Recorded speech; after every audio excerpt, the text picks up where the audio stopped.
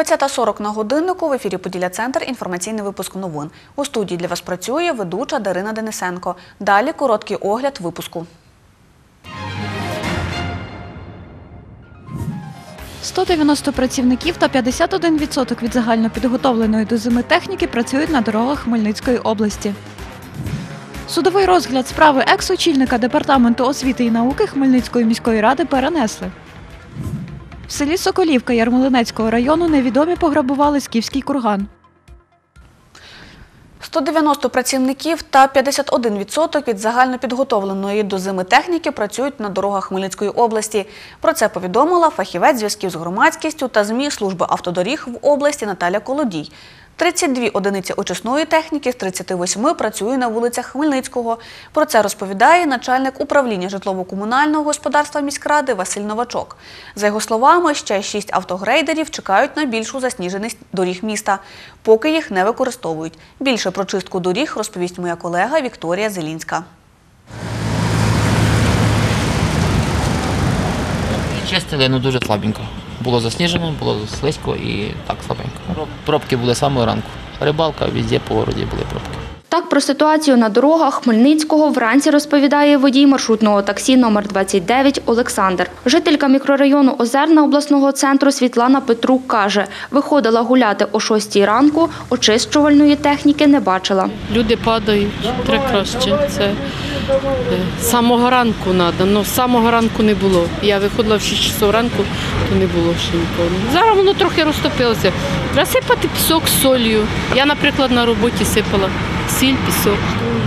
На озерні чистили дороги з самого ранку. Чистити та посипати піщано-соляною сумішю дороги Хмельницького почали ще вчора ввечері, каже начальник управління житлово-комунального господарства Хмельницької міської ради Василь Новачок. Учора о 19 годині е, ми приступили до посипання е, магістральних доріг. Е, Падав сніг, і для того, щоб дороги не заїздились і не були на ранок слизькі, ми їх практично всю ніч посипали в деяких місцях двічі-тричі. З середини ночі почали вже оту кашу розбиту згор- згортати. Е, І в принципі ця робота продовжувалася е, практично е, до цієї пори до обіду. По управляючих компаніях колишніх ЖЕКах з 5 години ранку вийшла в роботу техніка без- безпосередньо, яка розгортала двори, і постійно до цієї пори працюють двірники, які е, прочищають пішохідні доріжки, відчищали е, сніг е, від самих входів. Е, Загалом е, задіяно було е, 32 одиниці посипально-розчищуючі техніки. Водій автобуса міжміського сполучення Хмельницький Рижулинці Олег Остапішин каже, ситуація з дорогами складна, особливо в селах. Дорога, да, як взяти на Тернопіль. От я от рухаюсь на Тернопіль, то дорога е, ну, якби розбита. А в селах то слизька дорога. І ну, не посипається. Якби. Хотілося б, щоб вона посипалася, обслуговувалася належним чином. В мене на кінцеву, наприклад, відведено 40 хвилин, але добирається година, то й більше.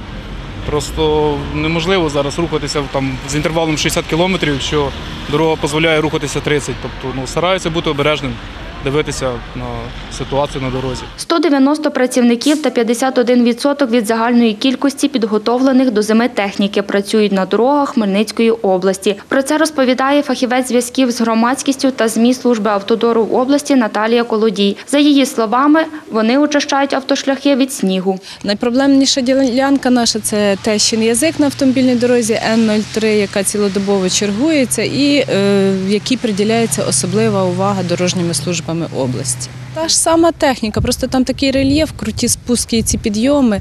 Але так як після капітального ремонту нам проїзна частина стала вдвічі ширшою, то вже цього року аж таких ну, проблем поки що немає. Насамперед, це ми говоримо і керівництво, і всі по всіх службах звертаємося до водіїв, особливо вантажівок, що хоча б не рухалися на цих літніх та ще й зношених шинах. За словами завідувачки сектору метеопрогнозів Хмельницького центру з гідрометеорології Люсі Ковалишин, у найближчі два дні опадів не прогнозують. Вікторія Зелінська, Юрій Чорний. Новини Поділля Центр. Сьогодні відбулось судове засідання у справі місцевого підприємця, власника приватного акціонерного товариства Проскурів та народного депутата України другого скликання Івана Рудика. Його підозрюють у керуванні автомобілем у стані алкогольного сп'яніння.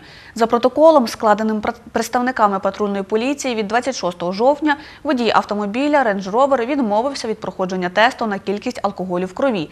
Підозрюваний до Хмельницького міськрайонного суду не з'явився. 26 жовтня 2018 року був він зупинений е, працівниками патрульної поліції. В процесі спілкування у працівників патрульної поліції виникли підозри стосовно перебування е, водія в стані алкогольного сп'яніння, оскільки водій перебував з явними ознаками е, перебування в стані алкогольного сп'яніння, а саме це ем, почервоніння обличчя та різкий запах алкоголю з порожнини рота, що стало підставою для того, щоб запропонувати водію здійснити огляд на стан алкогольного сп'яніння. Представниця підозрюваного адвокат Юлія Шафікова під час засідання розповіла, Іван Рудик до закладу охорони здоров'я для складання тесту приїхав самостійно. На камеру адвокат давати коментарі відмовилась. За рішенням суду наступне засідання у справі призначили на 5 грудня. Судовий розгляд справи колишнього очільника департаменту освіти і науки Хмельницької міської ради Романа Миколаєва перенесли на 19 грудня. Таке рішення сьогодні ухвалив Хмельницький міськрайонний суд. Справа Романа Миколаєва знаходиться у стані досудового розслідування з червня 2018-го. Йому загрожує від 5 до 10 років позбавлення волі.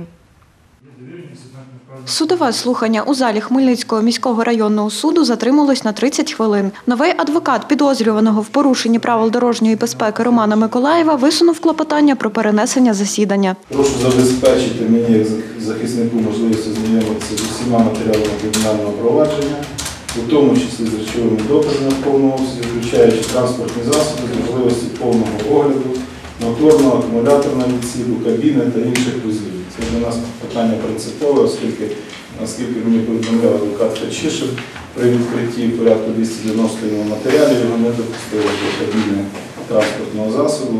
Підозрюваний за статтею 286 Кримінального кодексу України Роман Миколаєв підтвердив клопотання свого адвоката. Підтримати свого захисника. Так.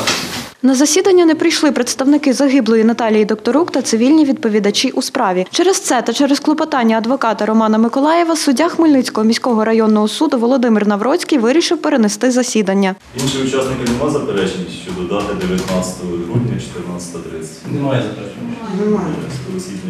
Сьогодні справу Романа Миколаєва мала перевести у стан судового розгляду. Нагадаю, екс-директора міського департаменту освіти і науки підозрюють у порушенні правил безпеки дорожнього руху, що спричинило загибель кількох людей. Аварія сталася у ніч з 29 на 30 травня цього року поблизу Хмельницького. Колишній директор департаменту освіти на службовому авто в'їхав у лісовоз. Загинуло двоє людей, четверо травмувалися. Експертиза показала, Роман Миколаєв був за кермом у нетверезому стані. Підозрюваному експосадовцю висунули звинувачення за частиною 3 статті 286 Кримінального кодексу України. Йому загрожує від 5 до 10 років позбавлення волі. Анастасія Олексюк, Віктор Кривий. Новини Поділля Центр. Народний депутат від Хмельниччини Віктор Бондар був відсутній вчора під час голосування за запровадження воєнного стану у 10 областях України та Азово-Керченській акваторії. Ми намагались телефоном отримати коментар від нього, та протягом дня не вдалося зв'язатись із депутатом. Сім інших обранців від Хмельниччини проголосували за запровадження воєнного стану в окремих областях України. Це мажоритарники Олександр Герега, Сергій Лабазюк, Роман Мацола, Сергій Мельник, Володимир Мельниченко, Андрій Шинькович та член партії Народний фронт Олександр Ксенжук.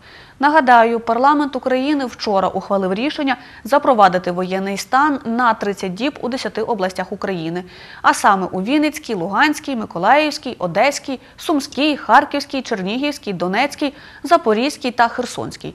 За це рішення проголосувало 276 депутатів. У Хмельницькій області воєнний стан не запровадили. В селі Соколівка Ярмолинецького району невідомі пограбували скіфський курган. Про це повідомив завідувач відділу охорони пам'яток історії та культури у Хмельницькій області Сергій Шпаковський. За його словами, Соколівський курган відноситься до раннього залізного віку та має пам'яткоохоронний статус. Пам'яткоохоронці зафіксували факт крадіжки і подали заяву до поліції. Там дві ями до двох метрів глибини, е, викинуто каміння з поховальної камери, е, простежується на метрі е, глибини горілий культурний шар. І печена глина, відповідно, маска, ця, що обмащували поховальні камери. 25 числа нам складено акт. 26-го ми відправили е, лист на обласне управління поліції е, з додатками на 50 аркушах. Там і паспорт, і облікова документація, копія охоронного договору, фото, світлини. Сергій Шпаковський каже, це друге пограбування за останні два місяці. Перше було у жовтні неподалік Меджибужа. У поліції відкрито два кримінальних провадження. 35 учасників ансамблю танцю Подолянчик з Хмельницького вперше представляли Україну на цитрусовому фестивалі у турецькому місті Мерсін. Дійство зібрало гостей із 28 країн світу. Про це розповів керівник народного художнього колективу Подолянчик Іван Гуреєв.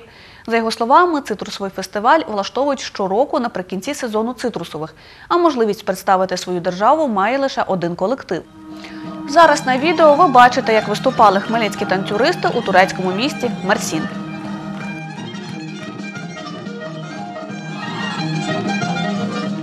Мене вразило море. Воно було дуже гарне, е, солоне і тепле.